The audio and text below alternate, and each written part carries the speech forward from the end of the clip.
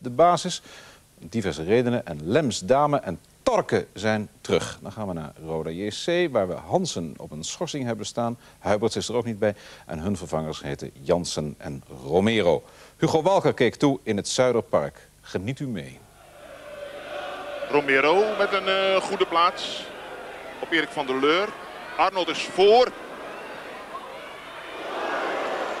Nou, natuurlijk een dot van een kans die Van der Leur daar mist. Had zelf in kunnen schuiven, althans dat probeerde hij. Maar een bal op Graham Arnold, dan is het prijs. Henny Otto.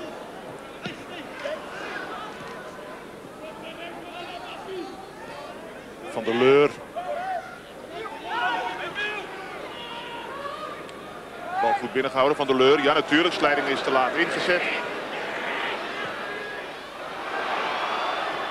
Hofman. Nou, schrijft die goal maar op naam van Van der Leur. Daar moeten de eerste felicitaties natuurlijk naartoe. Want die speelde zich fantastisch vrij.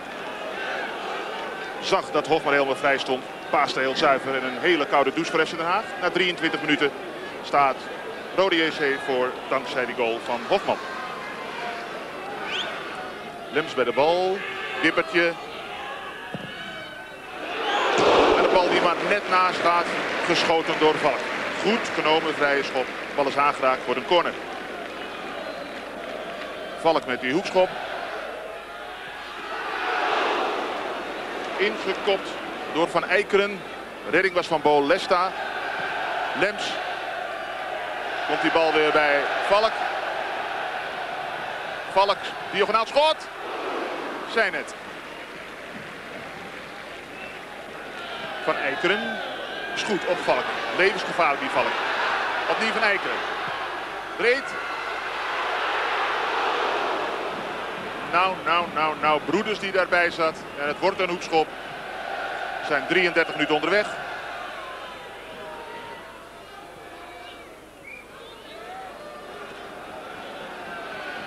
Torken. Ingekopt. Schitterend. Gered door Bolesta. En een voorlangs en dan is er Hens geconstateerd.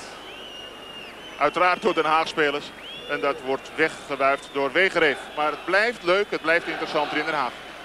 Lems. Pas van Lems. Verhagen. Van Eikeren. Houtman, daar gaat hij dan. Ja! Peter Houtman scoort een heel belangrijke goal voor FC Den Haag. Doet dat na 37 minuten. Na de zoveelste kans voor Den Haag. En ditmaal moest dus doelman Bolesta buigen. En is de stand hier 1-1 geworden in een tot nu toe zeer interessant duel. Dit is uh, Aga Ogechukwu. Die in de tweede helft is ingekomen voor de zeer tegenvallende Graham Arnold. Lems. Er gaat een overtreding en dat kost hem een gele kaart waarschijnlijk. Nou, nou wat een geluk heeft hij dat Degereef zo tolerant is. Hij heeft al negen gele kaarten Lems en dan nog ook zijn tiende. Lijkt me een aantal dat iets wat overdreven is.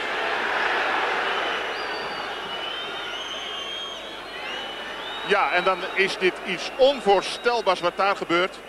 Degens herhaaldelijk babbelen en hij kwam er al zo goed af. Kreeg nog geen gele kaart. Heeft hem inmiddels gekregen van Wegereef. Ik zou het eerlijk gezegd ook gedaan hebben.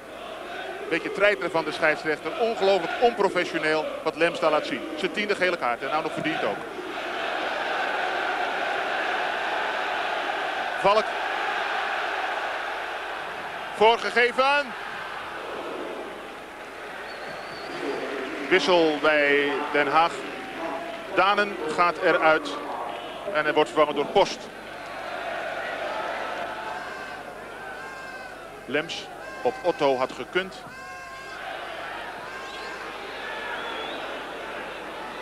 Boerenbach. Nou, Jansen mag revanche nemen. Stefan Jansen. Stefan Jansen. En dan gaat hij erin. Het is toch ongelooflijk. Terwijl Lems weer aan het smoezen is. Met scheidsrechter Wegereef. En zijn verdedigende taken veel te licht opvat. Scoort Roda. Ik moet wel zeggen tegen de verhouding in. Een doelpunt via die Stefan Jansen. En is het in de 70ste minuut 2-1 geworden voor Roda. Lems eruit. Natuurlijk, die solliciteerde echt naar een rode kaart. En hij wordt vervangen door Grunholz.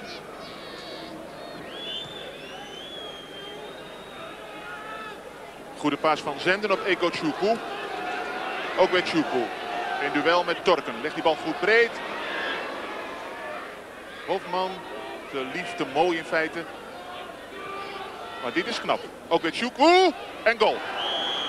Ja. Daar hebben ze hem voor ingehuurd. De jongen komt amper aan voetballen toe. Maar scoort wel. Dit is een uh, zevende goal. Ook Choukou. Een hele goede vervanger moet ik zeggen van Graham Arnold. En brengt de stand op 1 tegen 3. Doet dat in de 73ste minuut. En ik ben bang dat dit de doodklap is voor FC Den Haag. Hermes. Hermes, heel snel een aansluitende goal. Kan ook iets leuks opbrengen. En dat is er ook. Het wordt een doelpuntenfestival op deze manier. Otto 2 tegen 3.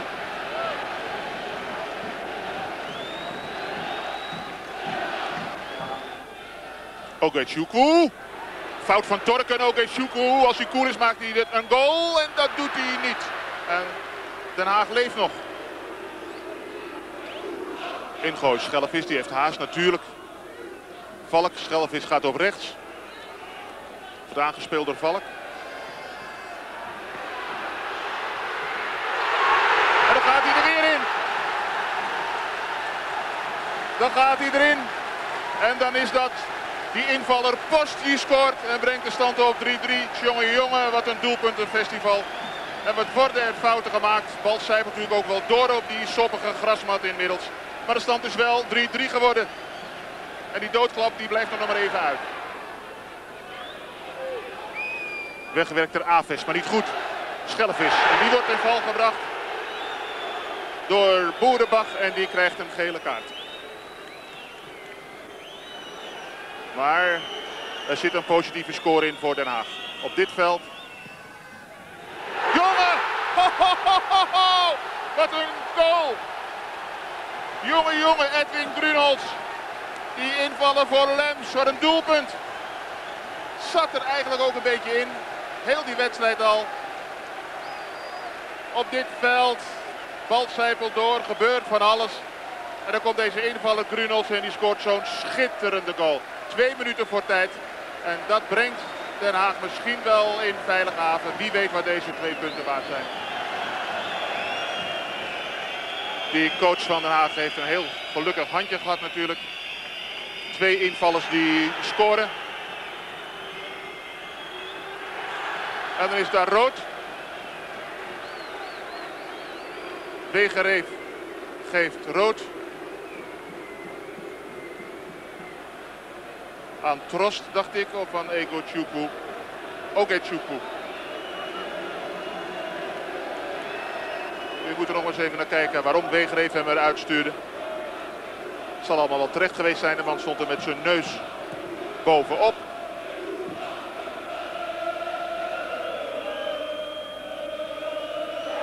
Hout van Verhagen. Grunholz. Op weg naar 5-3. Penalty. Na een overtreding van Trost. En een gele kaart ook voor Trost. En zo dadelijk de strafschop voor FC Den Haag. Dus twee goals verschil is mooi meegenomen. Als Van Eikeren gaat scoren en die doet dat. En brengt de stand op 5 tegen 3. En had dat zo'n minuut of 20 geleden nog maar eens even voorspeld. 5-3 Den Haag. Lijkt me een mooi eind. Weegreep moet nu maar af gaan fluiten. Feest is voor Den Haag spelers. De winst verdienen ze ook. 5-3 is een mooie score.